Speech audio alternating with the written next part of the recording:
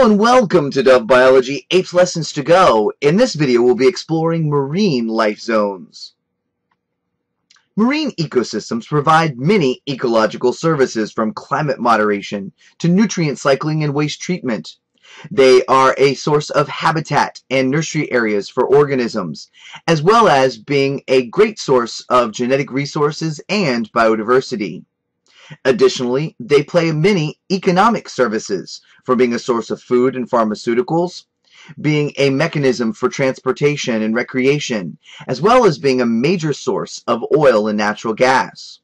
As a result, they provide $21 trillion in goods and services each year, actually 70% more than terrestrial ecosystems. Unfortunately, these marine systems are poorly understood. Some say we actually know more about the surface of the moon. Now, marine aquatic systems are huge reservoirs of biodiversity with many different ecosystems. Marine life will be found in three major life zones the coastal zone, the open sea, and the ocean bottom. The coastal zone is the warm, nutrient-rich shallow water that will extend from the high tide mark on land to the gently sloping shallow edge of the continental shelf. Now, while the coastal zone makes up less than 10% of all the world's ocean area, it actually contains 90% of all marine species. This is due to the fact it's a very productive area, as a result of being able to access ample sunlight and receiving plant nutrients directly from the land. Unfortunately, these coastal areas are subject to a great deal of human disturbance. It is on the coast where we see a lot of development for our homes and uh, places to shop.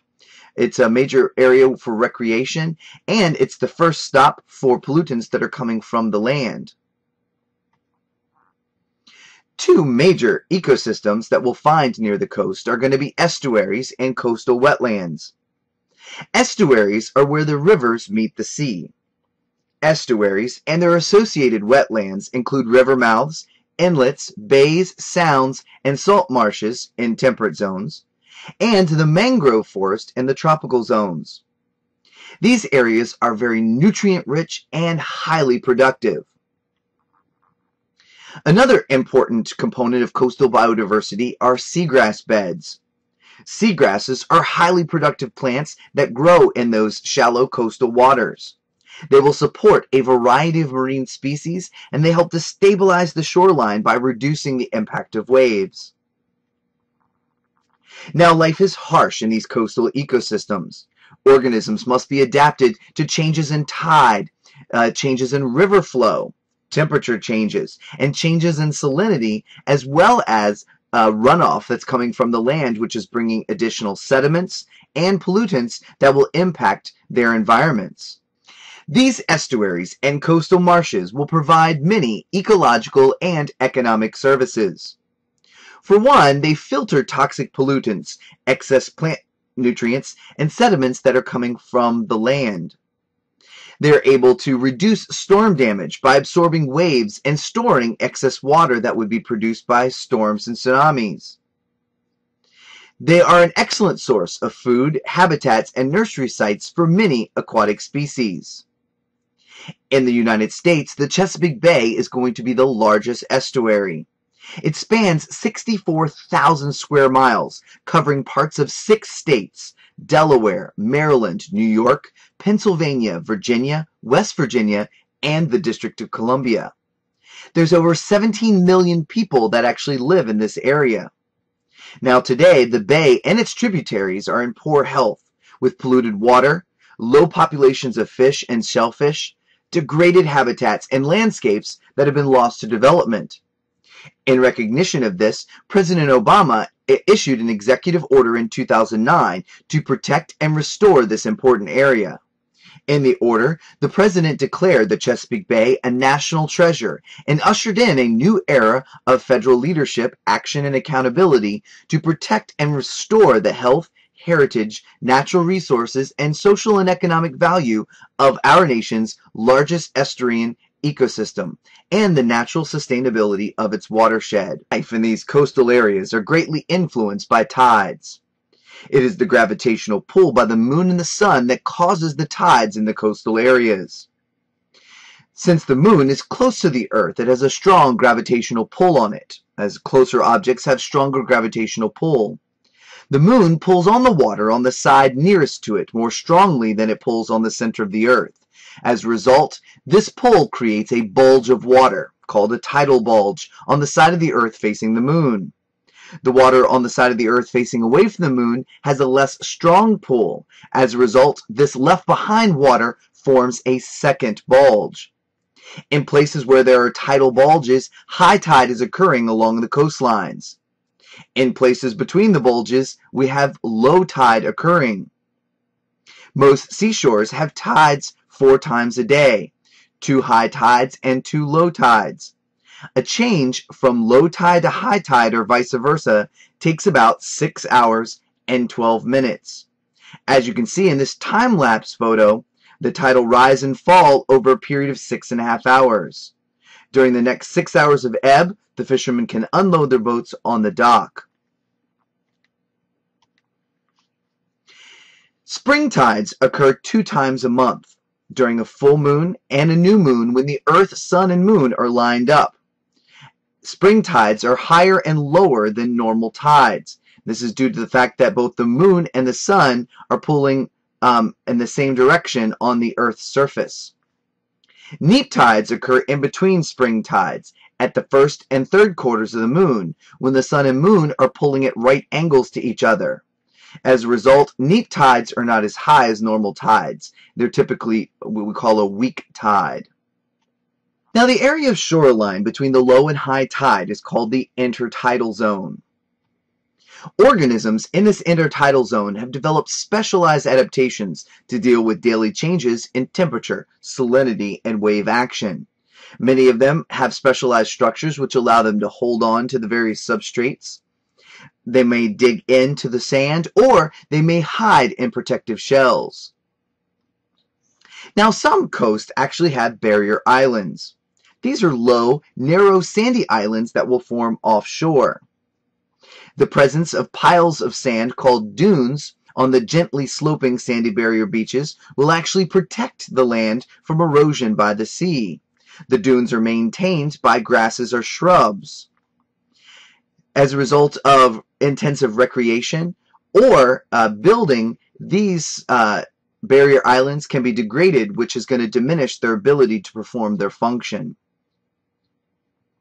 Right on the edge of our continental shelf, we may find coral reef systems. Coral reefs are formed by coral polyps in warm tropical and subtropical coastal waters. These reef systems are highly productive areas that are home to a quarter of all marine species. The reef perform many ecological functions. They protect 15% of the world's coast from erosion, and they're able to moderate carbon dioxide levels from the atmosphere through the formation of the carbonate skeletons of the coral organisms. Now, as we leave uh, the coast and head off into the open ocean, we're going to see a sharp increase in depth at the edge of that continental shelf. It is here that we separate the coastal zone from the open ocean, also called the pelagic zone. On the basis of sunlight, the open sea is divided into three zones.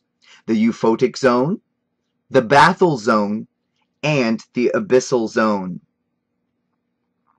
The euphotic or epipelagic zone is the brightly lit surface part of the open ocean. Here, nutrient levels are typically low, but dissolved oxygen is high as a result of wave action and wind. Photosynthesis is capable to occur here because of the presence of sunlight. The only limitation is how much nutrients will be available at a given time. If we leave the euphotic zone and dive a little bit deeper, we'll enter into the bathyal zone. This is the dimly lit middle layer of the ocean, sometimes called the twilight zone. Here, photosynthetic activity is minimized by the absence of light. Zooplankton and fish will live here and then migrate to the euphotic zone to feed at night when there's less chance of predation. As we near the bottom of the ocean, we'll enter into the abyssal zone. Here it's very cold and there's very little dissolved oxygen. Organisms will survive on marine snow, which is the dead material and detritus that is falling from above. Or they may exist around hydrothermal vents, which are belching forth rich organic material, and inorganic material, which certain organisms can turn into carbohydrates through the action of chemosynthesis. Now, the average net primary productivity per unit area of the open ocean is actually very low. Because the ocean is so large, though, it does contribute greatly to the Earth's overall productivity. Now, some areas will have higher net primary productivity as ocean currents and winds bring nutrients from the bottom to the surface. This is called an upwelling. When nutrients from the bottom rise up to the surface, where light is present, those organisms then can have a great increase in number, which then will provide the basis for the food chain for other organisms. Typically in these areas where there's upwellings, we find a lot of fishing opportunities. Now humans have impacted these marine systems in many different ways. Urban and industrial development are destroying and degrading many of the ecological and economic services provided by the world's coasts. Damage by divers' boat anchor anchors will destroy the fragile coral. Increasing ocean temperatures have actually caused bleaching or the loss of symbiotic algae that helps to provide food for the coral polyp. Dredging and trawling by fishermen can damage ocean bo bottoms, pulling up the important seagrasses that stabilize coastal zones and disrupting habitats for organisms. Finally, we see a decrease in the pH of oceans as they become more acidic. Ocean acidification is occurring due to the uptake of anthropogenic carbon dioxide, uh, as carbon dioxide gets dissolved in the water, it forms carbonic acid, which is a weak acid. This acidification uh, weakens the shells of shellfish and coral, which then further disrupts ecological communities